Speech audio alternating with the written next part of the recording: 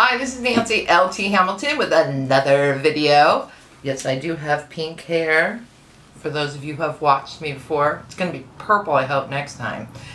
Anywho, speaking of color, we're going to be coloring metal today. I have one patina video, which we'll have a link for, but this one is different kinds of surface treatment. I'm going to be using um, acrylic paint, alcohol inks, uh, heat, um, oil, and flux. So we're going to have a really good time. See you in a minute. So now we're going to start with some color and um, we're going to do some colored pencils.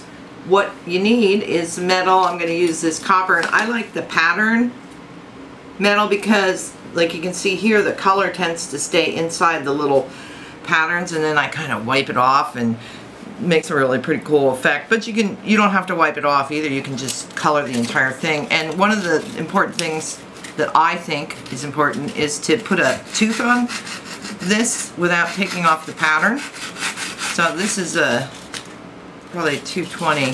You can use 220, 320, something like that. But you want to get it so so that there's a good tooth on here. You can go cross hatching too. That'll have more teeth to hold on to stuff with. So once I get this all sanded, then I'm going to apply the gesso. I'm going to wipe this off on my apron. That's what they're for, right? And little paintbrush. This is gesso. Use it to prime canvases to put paint on and other things like priming metal. So I'm just going to put probably two coats on. I'm going to put this on and then we're going to let this dry and come back to it. I'm going to put the other coat on so you don't you don't really need to watch me paint gesso. And you can also pattern with the gesso too. You can stipple it and make all different patterns for the pencil to adhere to. So it's not just, you know, trying to get it smooth sometimes. Sometimes you want it real textural. You can use a palette knife or things like that. So I'm going to paint away and I'll see you in a minute.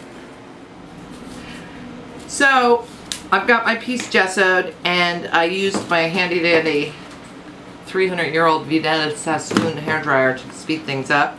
Um, I divided the the metal in half. I'm going to do dark colors first on one side and light colors first on the other just to give you an idea on how it looks. And I also like to use colors that are on opposite sides of the wheel, but you could do subtle grays and beiges if you want. You know, there's no hard and fast on this. So I'm just going to kind of like when you're you know, using colored pencil. you go ahead and put your color in. You can come in and cross hatch it. This if you want. Remember these are waxy. Um, what I like to do, when I remember when I said wipe it off, well I use a little alcohol on some paper towel or a cotton swab and it kind of smears it around a little bit, which is pretty cool too. So um, I'm going to start with the light color on this side to go, go to white, sorry, or flesh. White people flesh, anyway. So we're just to come back and I'll show you how things develop. Oops, a little too hard there. Took some of the gesso off. So I'm to do this for a few minutes and we'll visit in two, three, one, zero. So here we have the um, this side I started with the dark colors first and this side I started with the light colors and just pinks and yellows and purples and a little turquoise and you you can do whatever you want. Um, I put a little rubbing alcohol on here and you can go ahead and do things like this where you rub off some of the areas which I really like because it's like a soft blended look. Um, another thing that I've played with before is I've stuck these in the toaster oven at like 250 or something because they're wax based pencils. So if you put them in the toaster oven they get soft and then you can rub them and smear them a little bit and that's what I did with this is the uh, the color got soft and went into the um, grooves on the pattern. So um, this needs to be finished pretty much every single thing we're going to be doing today minus one is going to need to be minus one I think. Um, we need some kind of finish on it to protect it or some kind of setting where it's buried deep inside where it won't get rubbed off. So um, on to the next. So Now we're moving on to alcohol inks. Uh, once again, this will need to be sealed at the end and also uh, put a little tooth on it. You don't have to put as deep a tooth as you would with the paint products. Um, but this is pretty fun to play with. I, I usually use two jars of alcohol, one to, to do the primary rinse on my brush and the second to do the secondary rinse. And keep it down. So uh, also you can use it to thin. Mine kind of, it dries really fast. So you can paint it on just like this.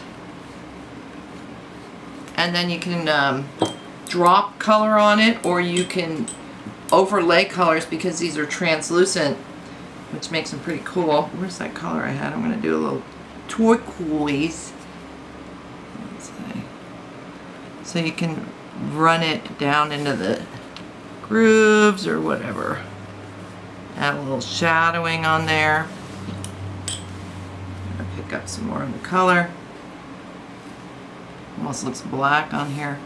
And so the darker ones will fill in. This is pattern metal too. So you can just play with your colors. Just remember that every time you put on a color, it, it they tend to run together because the alcohol kind of melts the colors. Um, but it's a really wet, fun way to color your metal. It's it's not scratch proof, but the sealer helps a lot. So we're going to move on because we have a lot to talk about today. You know how much I talk. So another way to color metal is to use nail polish.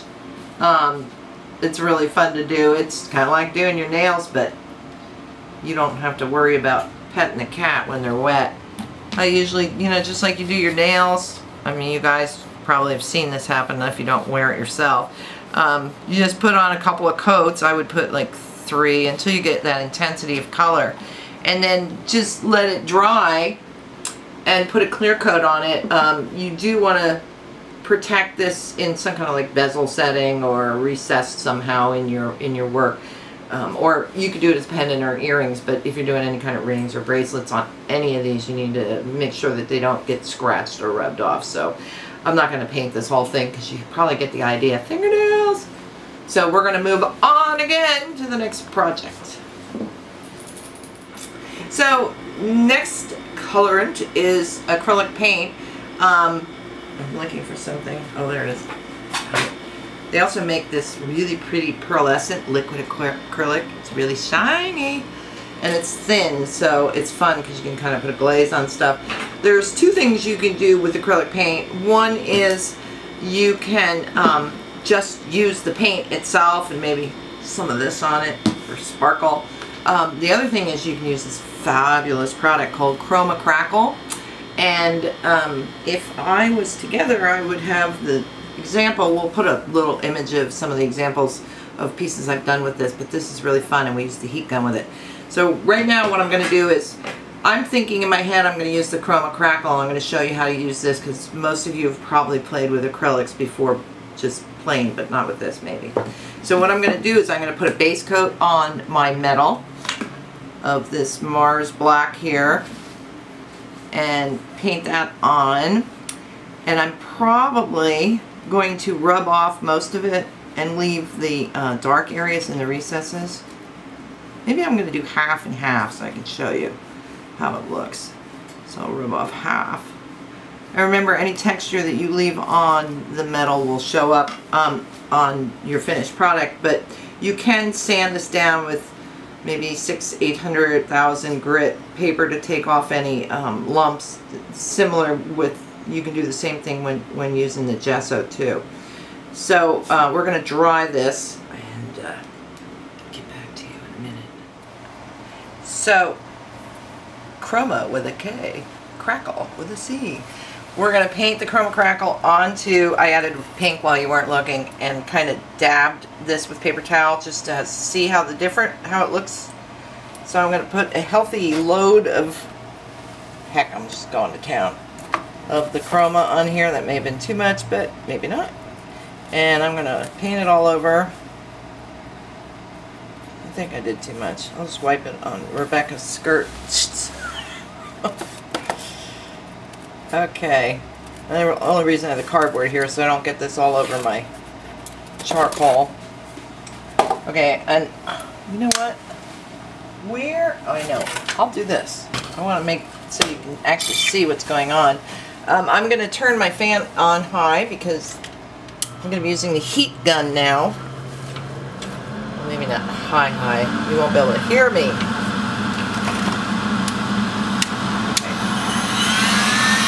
By the way, um, I set my Harbor Freight, well I didn't do it, my Harbor Freight heat gun caught on fire, flames shooting out the end. Broke down and bought a good one. So my DeWalt and I are happy now. So I've got this on high. And I'm going to start to heat it up. Now you can see it turn white. That's the Kroma in action.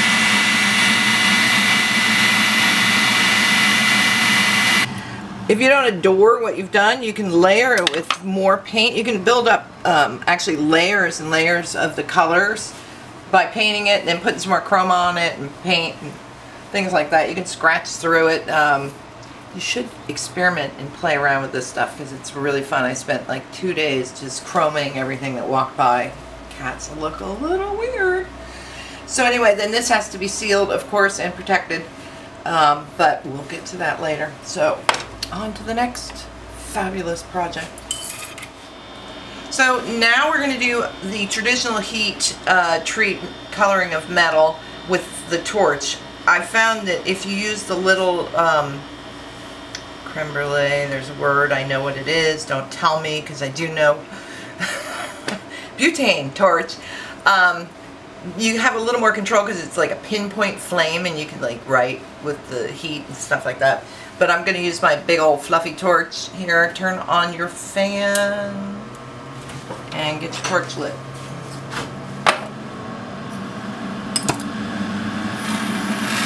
You want to kind of heat it and pull away, heat it and pull away um, so you can see how the color forms and know when to stop. So I can tilt this. See, it's starting to do the yellows now. Then it goes into like pinks and purples You can do dots on bigger pieces or with a smaller torch. So there we've got, let me turn this off. So this has got a lot of the purple blues and a little bit yellow in there. So I, if I don't like this, I just throw it in the pickle and start over again. Um, you can also let it cool and then re-hit it with the torch to add different spots of color on it too. So um, it's really a pretty simple thing. There's actually online there's a somebody who does like the full paintings on big sheets of copper of scenes and things like that.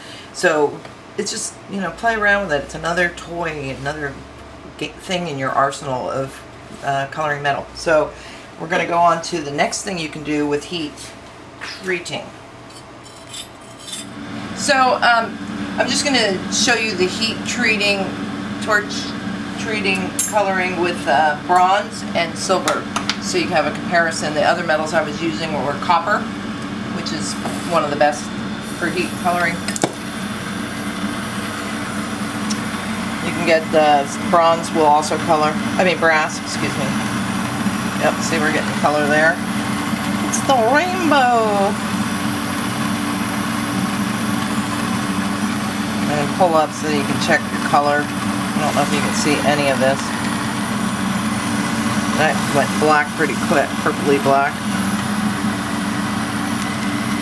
I think you get much greater range with the copper. And we're going to try it with silver, and I pretty much know what's going to happen here, but this is jewelry making. It's always surprises. Most of your big colors with silver will be through um, liver sulfur.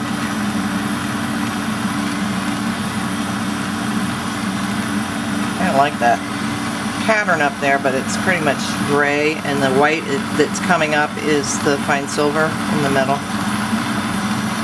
It is not a bad coating. It's what it is. It can be brass brushed off.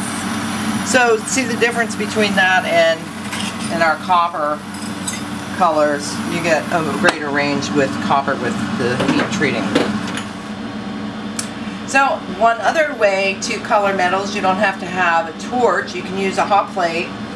Um, and this, once again, you can, well not once again, you can control the uh, color somewhat by only putting it on certain parts of the um, hot plate or you can place the whole thing on here and what this does and the heat gun that you can also use to, to color metal set on high by the way um, is it's slower than the torch because it heats up slower so you have more control over when to so like see I'm starting to get color oh so I might want to move it over here.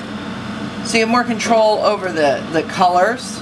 So like I like that so I can pull that off now. See it's still continuing to change color which I don't like. Oh, I lost it all. Ah! So I can let this cool and then put it back on here uh, and recolor and try to get some of that those brighter colors. See where the tongs are? It's a little, the colors there still because of the, it's a heat sink. It drew some of the heat away. So with this, you probably want to leave it on for less time than I did. but you can also use your heat gun with this. I don't think hair dryer would work because I think you need to be above 950 degrees. So we're going to continue to move on. Thank you. So if you let your uh, piece get um, go through all the color ranges, it'll eventually come to a brownie gray uh, for the copper. And you can treat this almost like liver of sulfur. I've got a piece of uh, quadruple aught steel wool here. And you can buff off highlights with it or leave it as is. So it's another way of, of darkening your metal. This is more of a, a brown than the gray that you get with a liver of sulfur patina. So that's that. Um, by the way, I don't know if I mentioned, but um, usually I let them air cool because sometimes when you quench in water, they you'll lose some of the bright colors that you have. So I would experiment with that also. What works for you and your torch, how hot you're heating, and all these variables. It's a it's a crapshoot. So we're gonna go on to the next. So um, now I'm gonna do a little trick. Um, Handy Flux, it's a paste flux. There's also a gel flux that you can use. I don't know what it's called. Maybe gel flux? Just saying. Anyway, what I've got is a little rubber stamp doodah here and a paintbrush with flux on it. And I'm going to paint it on to the rubber stamp. It's very exciting. It's actually pretty cool. And then I'm going to take it and I have to stand up for this because you want to just, you don't want to move it. So you want to get it in position, drop it. Oh, I moved it. Dang. I'll try it again because then we might have one that actually works and peel it up. See, it's a little smudged. I'm going to do another one just to see if I can. See how skilled I am at painting things and smashing them in the metal. Okay, let's do it over here. Drop, ah, don't move, push, and then you have to be careful about pulling up. That's a little better. Okay, so now, next step is we're gonna go over to the torch and heat this sucker up, and it's like magic. See over there. Mm -hmm. Remember when we stamped the flux on the metal? Well, the flux has dried a little bit. And what I'm going to do now is I'm going to put it, the torch to it and you'll see what happens. Very exciting. Oh, damn.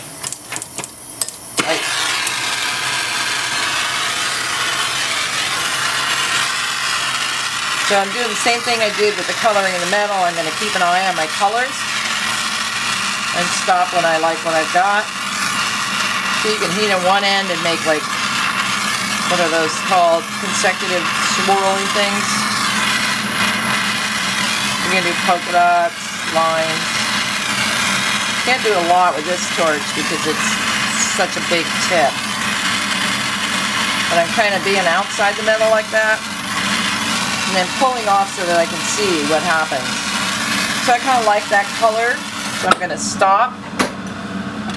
And I will hold up so you can see it better. Got some great violet up here and some good purple. Um, so I'm going to let this cool off. I might even take it off my charcoal so it stops coloring. And plop that over there to cool and then I'll continue when it's cooled I'll show you what we do next.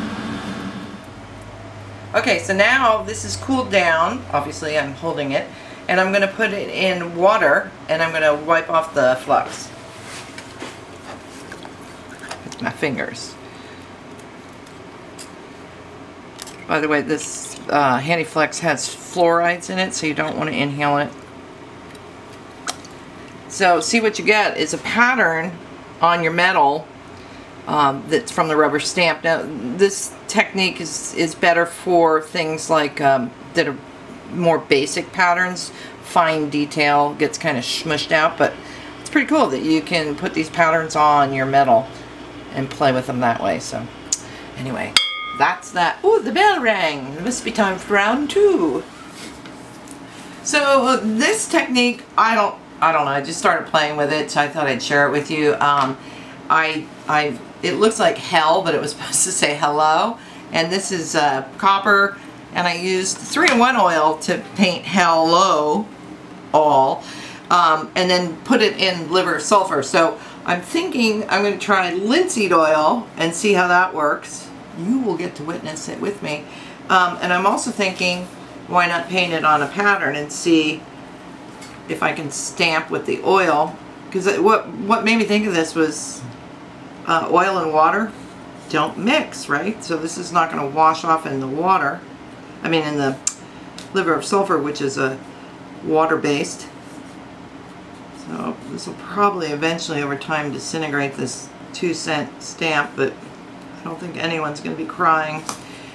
And then, oh, yes, mother, thank you. I'm going to paint something on here. Uh, polka dots, they're always a go-to. Maybe some squiggles. Just to get an idea. I mean, you don't have a ton of fine control here. The sun is rising. So that's about as arty as I'm going to get on this because I don't want to waste time.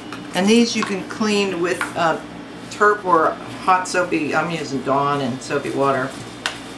So now, here's my liver. Hold your nose. And I'm going to drop this in and hopefully it works somewhat. Like I said, this is, oh I didn't stamp. Ah! Try that corner there. Kind of like we did with the flux on it. Oh, there's a pattern. Ah! Let's see.